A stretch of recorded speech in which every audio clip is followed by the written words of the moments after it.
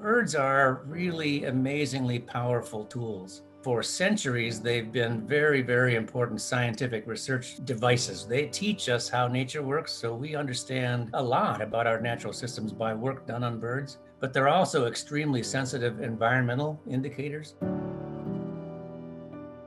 Many people don't realize that a very large proportion of our of our birds in North America, as well as the ones across Europe and Asia, they do their big global migrations mainly at night. So literally during the fall, from September to November, most parts of the U.S. People don't realize this, but millions of birds are flying over their heads during the night.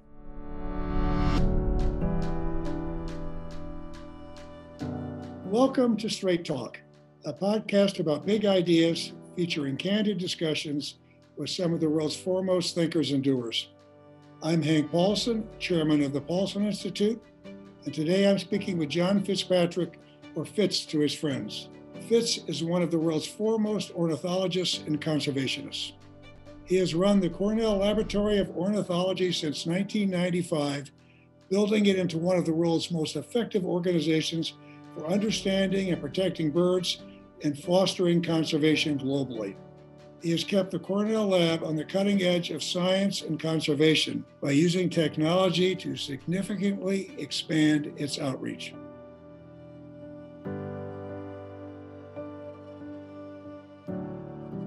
Fitz, welcome to Straight Talk.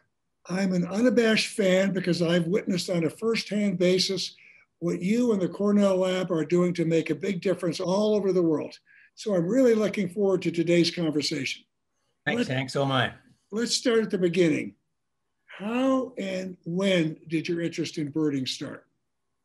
So I grew up in uh, in a rural section of Minnesota, uh, not too far north of the Twin Cities, in the early '50s.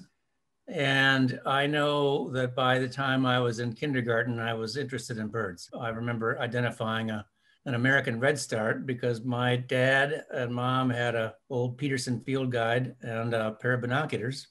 My dad was a hunter, so he was an outdoorsman, and uh, that I regard as a huge privilege in my childhood.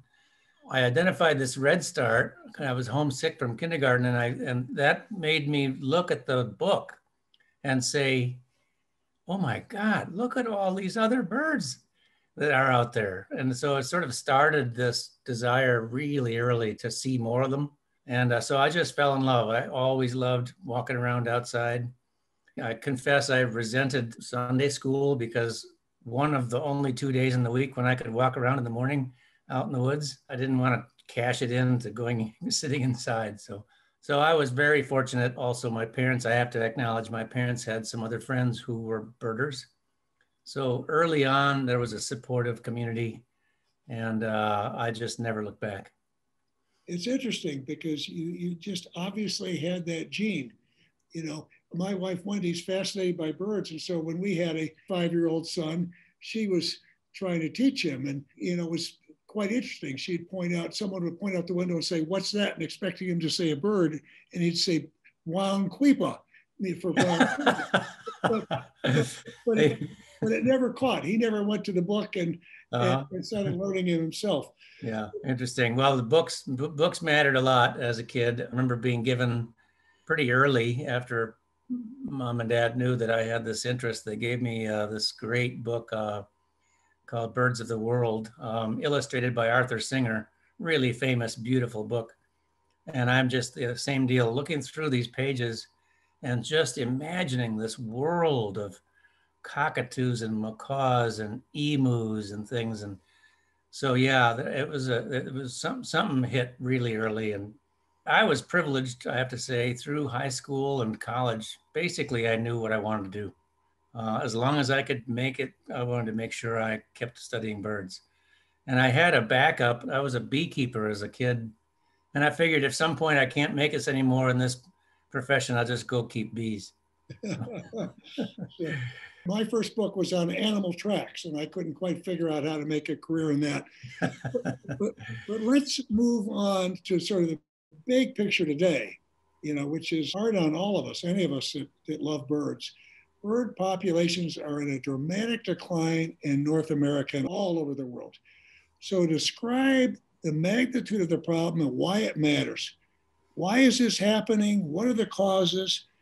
And how does protecting birds help foster biodiversity conservation more broadly? Now, there's a lot in that, Yeah. question, but unpack it for us. Super interesting question, really important question. Um, for one thing, you're absolutely right. We now have definitive quantitative estimates for the degree to which North America has lost its birds. We've lost 3 billion birds since 1970. That's almost a third of the uh, breeding birds of the continent. And one thing we know from work that we're doing recently is that these trends are not just trends of the 70s, 80s, and 90s. These are trends that are continuing to be experienced even as we speak right now. There are losses of birds, huge losses of birds across Europe. And we know that as landscapes are cleared in the tropical uh, and developing world, uh, enormous amounts of biodiversity are being lost uh, as we speak. And the cause is basically because, you know, seven pushing 8 billion people have a lot of demands uh, for staying alive, staying healthy, staying fed. And we, for most of our existence, we haven't paid attention to the fact that th- these numbers, we're managing the globe. We are in charge of the natural areas of the world, and we're not doing a good job of it. Uh, so, a, a lot of what we're doing in studying birds is learning how we can do a better job of living side by side with functioning natural systems while we as cultures continue to be, uh, you know, able to enjoy rich, fulfilling lives. That's a key challenge. And you asked why it's important. The birds are really amazingly powerful tools. For one thing, for centuries, they've been very, very important scientific research devices. They teach us how nature works, so we understand a lot about our natural systems by work done on birds. But they're also extremely sensitive environmental indicators. As bird populations change, they're changing because of underlying systems, the ecosystems underneath them. And that's their true power. They are barometers for larger scale problems that are actually a lot harder for us to measure and understand. And the last thing I'll say in terms of the power of birds is, as you know well, Hank, you and Wendy experience this all the time. Birds absolutely just tear and tug and sing in our hearts. We have spiritual, aesthetic relationships with birds that are, uh, it's the other side of our brain from the intellect. So birds actually stimulate at the same time both sides of our brain. And by getting people involved in birds and starting to understand what these declines mean, we can increase the extent to which they understand that we're changing the whole landscape, not just losing our birds. Yep, for sure. And, you know, getting to the tropics, Wendy and I visited Peru a few years ago, and we got to see two bird species that you discovered years ago. Yeah. what, what took you to the tropics? You know, here you are in Minnesota, and you went to the tropics. And how did it feel to discover a new bird species? I can only imagine what that must feel like. Oh, it's a it's an absolute thrill. I I was privileged to take a few trips to the tropics while I was in college, thanks to my mentor of at Harvard, who himself used to work a lot in the tropics, and he took a couple of us eager undergrads down there. And uh, once you see the tropics, as you know, Hank, uh, once you've experienced the tropics, it's in your blood. It, the mega diversity is just hard to imagine. And so you always want to go back as soon as you've been there just to see this enormous wealth of, of things. And so, so I, in graduate school, I made a commitment to go studying in life a bunch of these birds I got interested in in college. These are the tyrant flycatchers, lots of variations on little green bird. And so I got a chance to explore a bunch of different parts of South America. I spent a lot of time in Peru. It's one of the most mega diverse countries in the world. And on that summer of, of 1975, we took a kind of a lark. We did a two and a half week trip to a mountain ridge up in northern Peru where we knew that no scientific exploration had occurred on that area. We strung about 16 mist nets out there. And this is the God's truth the very first bird we took out of the mist net on the first morning was this little wren with a short tail and wing bars. And my colleague Dave Willard and I, Dave's at the Field Museum in Chicago still to this day, and my colleague Dave Willard looked at each other and said, what is this? There's no wren, wren with wing bars. So we knew right off the bat that we had taken an undescribed bird out of the net. Obviously, we therefore knew that it was a pretty interesting place. It turns out we collected a uh, one specimen of a hummingbird that we couldn't identify. That might have been one of the ones you saw, the royal hmm. sun angel. It was one of them. Right? Yeah, well, that hummingbird, we didn't know what it was, and at that time there were no field guides available for this part of the world, and so took a specimen back to New York, Smithsonian, Chicago. No collection had a bird like this, so I organized a, another little jaunt of some colleagues back to the same spot the following summer when we collected the female and could determine that it was in fact a new species of the genus Heliangelus, but we also got five other undescribed things. So it was an owl and another flycatcher and a little brush finch. I mean, it was just a, a, a gold mine of undiscovered species. Uh, so yeah, quite a rush, quite a great privilege for me to be able to work in the field of avian taxonomy as a result of those discoveries. So Fitz, what is so extraordinary about you, and I've worked with a lot of really outstanding people, is that usually when you get someone that is so good from an early age at, at some topic like birding, it's very seldom do you get that same person that's able to become a manager and a leader and then be farsighted. And so I want to go a little bit to the Cornell labs and you know, you were very foresighted. You unleashed the power of technology and citizen science and crowdsourcing, you know, to magnify your mission and get results. So I'd like you to tell our listeners about eBird. What is it? How does it advance science and unite and empower bird lovers globally? Because this is something that I see every week when I go out birding with my wife. She's, you know, she's logging into eBird. So yeah, that's good. Yeah, hope she keeps that up. I love hearing Wendy talk about running into people in the mountains of Ecuador keeping their eBird lists. It's very satisfying. Yeah, eBird is now a remarkable global scale opportunity for anybody who watches birds to put their checklists into a personal folder and have those checklists immediately join a massive global database that now we're receiving more than a million checklists every single month. And this all started with the hypothesis back in the 90s that this newfangled thing that was spreading called the internet actually gave us a chance to have a two way relationship with people in a distributed way. By the early couple of years of the internet, it was mainly a one way device. It was a way of advertising your stuff or you know teaching externally what we started doing was asking people to send information into us and we could in turn turn it around, make maps out of it, send it back to the uh, people. And this turned into an extraordinary positive feedback because people who watch birds love to understand them in, a, in patterns. What's their whole distribution? How do they change through the year? How do they change year after year? And uh, eBird now gives this opportunity. It's by far the largest biodiversity database in the world. And we've now invested at the Cornell Lab of Ornithology, not just in the technology for maintaining this and helping the people around the world keep their lists. We've invested in the amazing group of uh, sophisticated data analysts who can now dive into these major databases of distributions and actually ask questions about how one year differs from another, how species differ from one another in terms of their full annual cycle where they're wintering, where they're migrating through, what their abundances are at different times of the year, and how they affect one another. So, just an infinite variety of ways of understanding nature are now available to us in this candy store of information that eBird is producing. Amazing.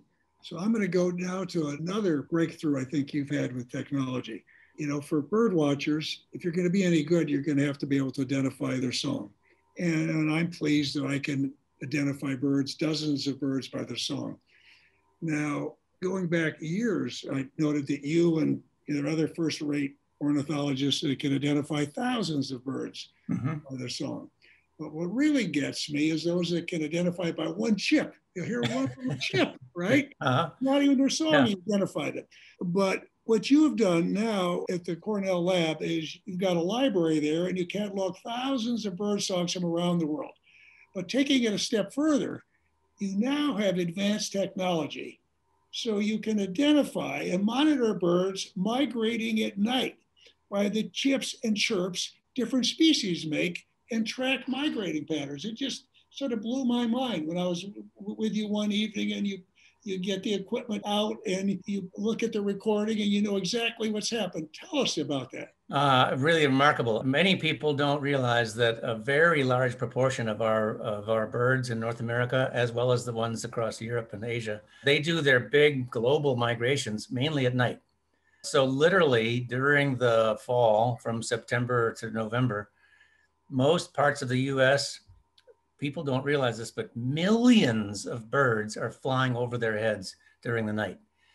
And a good number, not all, but a good number of those birds make these very high pitched, very difficult to hear for people who uh, whose hearing stops out at eight or nine kilohertz. But each one of them is different.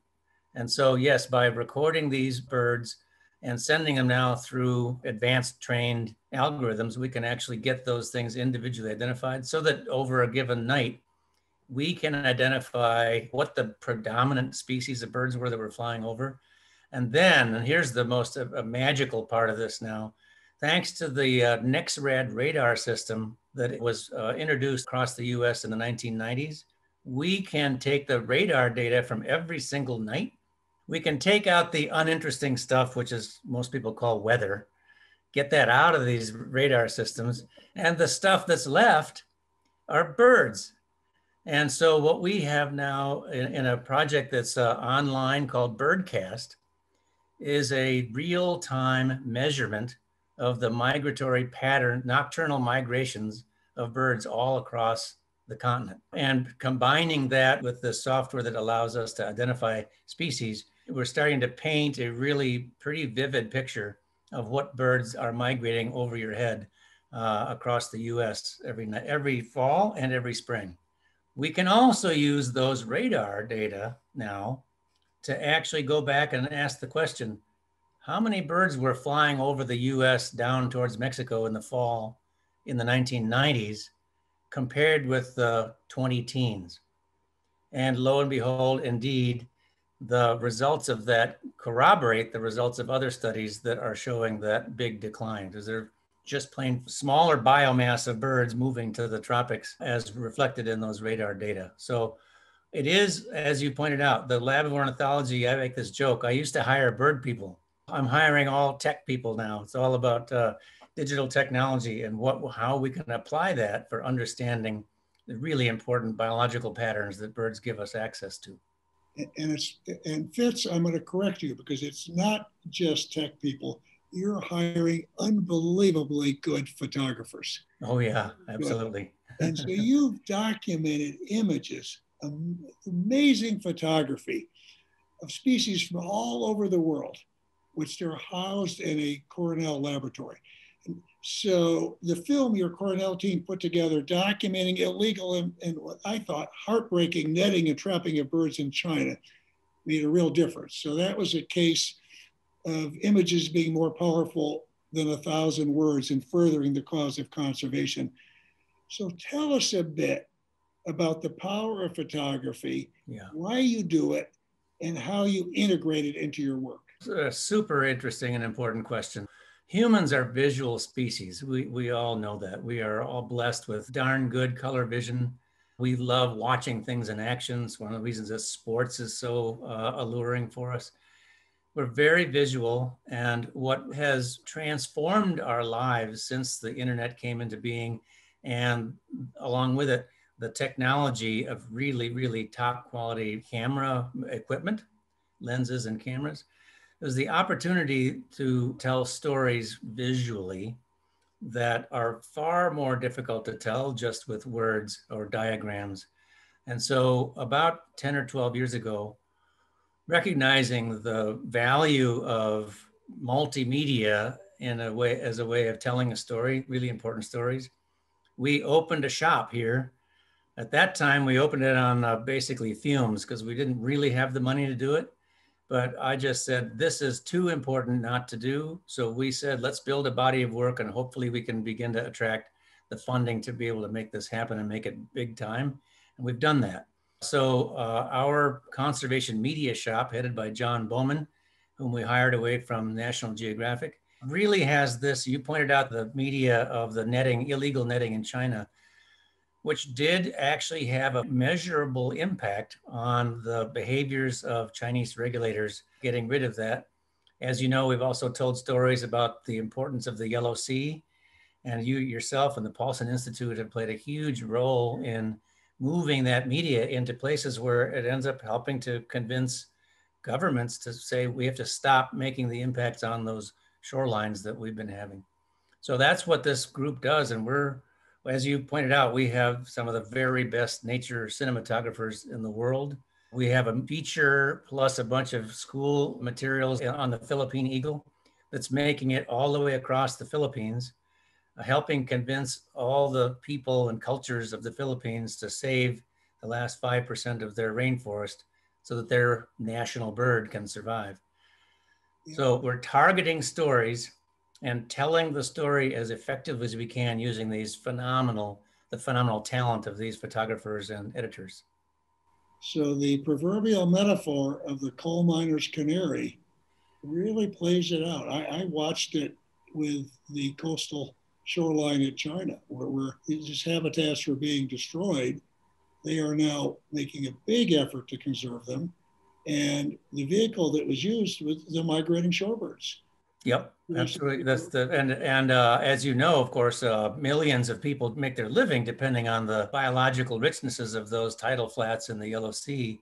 The bird declines that were a consequence of the rapid development and commercialization of those coastlines were also were barometers. They were the canaries in the coal mine for a whole uh, bunch of people as well as the birds themselves. The uh, canaries in the coal mine is absolutely the right metaphor to use for these birds all over the world. And guess what? The planet is the coal mine. so as we watch birds decline, what it does is it tips us off to the things that we can actually change, make a difference. We can, for example, ban DDT as we did in the 70s and watch the peregrine falcon, one of your favorite birds, come back from the brink of extinction across the lower 48 to now more abundant than it's been probably in the last 200 years. If we change behavior, these birds are resilient enough to bounce back. And so by changing behavior, of course, in the case of DDT and other stories like it, we are also affecting our own health in a positive way. So birds give us these indicators of how we can improve our own lives as well as the bird lives. So Fitz, that really gets me into the last question I have for you today. There's so much bad news about declining bird populations, massive extinction of biodiversity more broadly. Give us some good news. What gives you hope as you look forward? Because, you know, one of the things I love about you is you're a realist, but you're an optimist. I appreciate that compliment, Hank. I've always felt like an optimist you can't give up hope. We have to act as if we can make a difference because we know we can and have in lots of different places. The peregrine story being just one of a whole bunch of success stories we could talk about.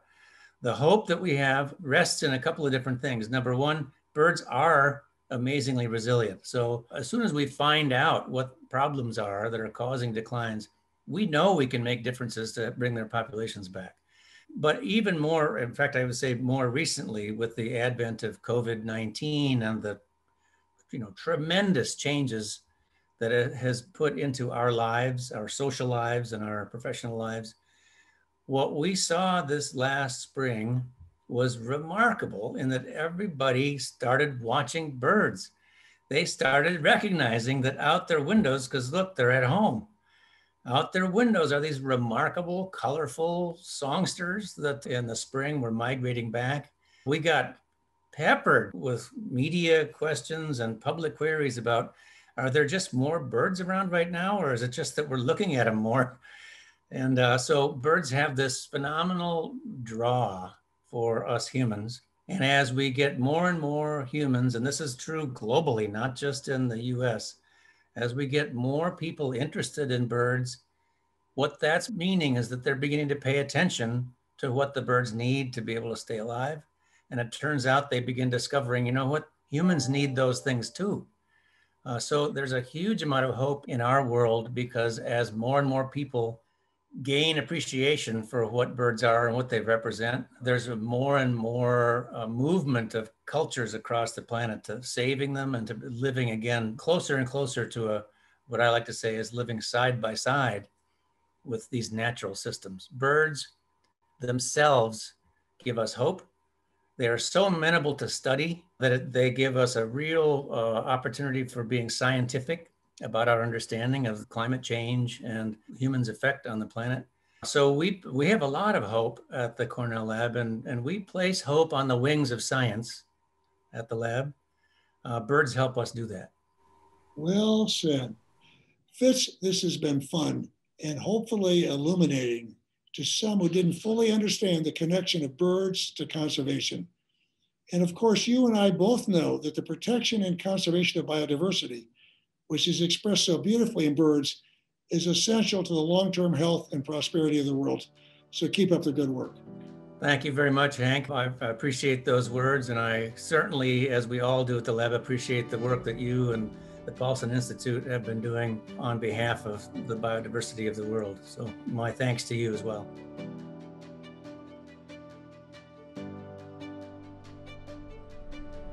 You have listened to Straight Talk with Hank Paulson, a podcast of the Paulson Institute. To find more episodes from leading thinkers and doers, please visit paulsoninstitute.org backslash straight talk or download on Apple, Google Play, Spotify, and Stitcher. And don't forget to rate and subscribe. Thank you for listening and see you next time.